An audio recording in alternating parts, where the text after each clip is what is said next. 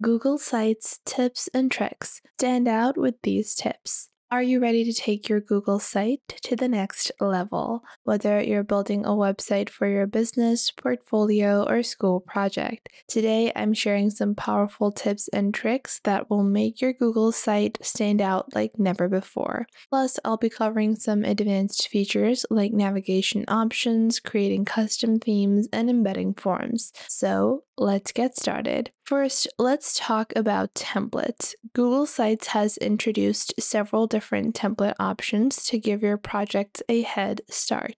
To access these, simply click on Template Gallery on the top right of your navigation site, and then you can explore different categories like business, personal, work, wedding, education. You can pick out one of these templates to have a head start. Next up, we're going to be proceeding with a simple student portfolio template. Now, once we choose a template that we like, we will have options for building our navigation options. A clean and intuitive navigation bar makes all the difference, and Google Sites allows you to switch between a top bar and a side menu. To customize this, head on over into your settings and choose navigation. From there, you can adjust the colors placement to suit your style. You guys can see we have a sidebar and if I click on the settings or the gearbox icon, you will see your navigation options. Now this is a side or a top menu and you can also choose the color that you want to use. Whether you're using a side menu or a top menu, you can choose your header to be colored or not. Now, if your navigation menu has several different pages added, then having it as a top menu can seem a bit out of style. However, if your navigation menu does not have a lot of sub pages that are going to be included, then you can add it as a top menu because it looks clean and simple. Now that we have decided on this, we're going to begin customizations by adding our logo on the top left. I'm just going to be calling our site Lily's, and this is going to be Lily's Photography Portfolio. Now, once I've done this, I am going to change the default theme where it says classes. And I'm just going to click on pages on the right. And then I'm going to remove these pages because they are not necessary. And I'm also going to remove all the nested pages within this, like so. I am just going to delete them one by one. Now, once I've done that, I can proceed with my own customizations. Now, let's make a bit more professional by adding a logo and a favicon. Your logo can be text, but I always recommend adding your own logo. Even if it's simple text, you want to add it as an image, and you also want to add it as a favicon. Your favicon is the little icon displayed in your browser tabs, and this is included in your store or your website or your portfolio's branding. So for this, you can again click on the top page and you're just going to go into settings. Once you go into settings on the top right, you can click on brand images. From here, upload your logo and favicon. If you don't have one, you can go into Canva and then search for logo.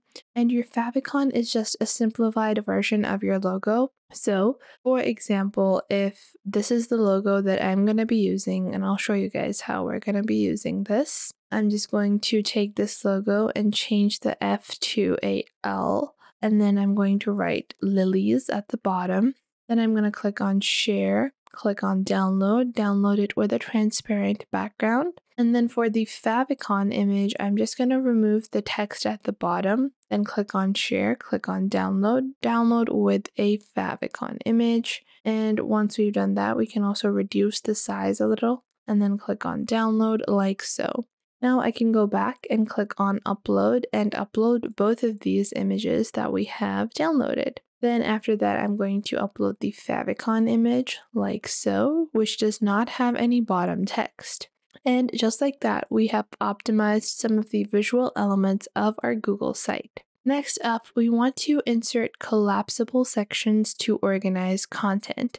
You can use this to tidy up long pages or FAQs. For this, you can click on the Insert tab and then choose Collapsible Group or Collapsible Text. This can help you in expanding content if the visitors are going to find it necessary, or else they can keep the visual clutter closed down. And I'm just going to click on collapsible group and then I can click on my text. Let's say this is going to be our portfolio for photography and I want to add photography styles like this and then I'm going to change the heading to a larger one. I'm going to customize the font and alignment to the center. Then I can add different text sections here.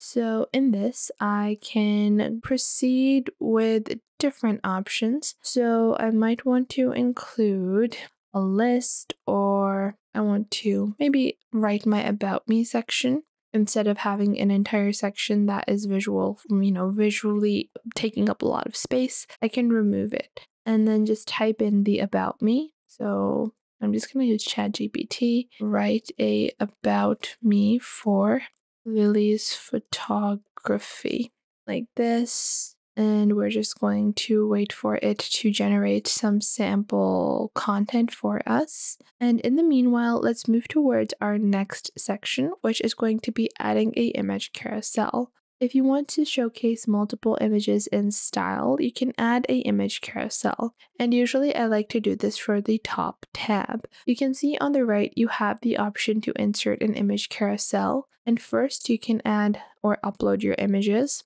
So for this, I'm just going to go into my folder and I'm just going to upload a couple of images that I have.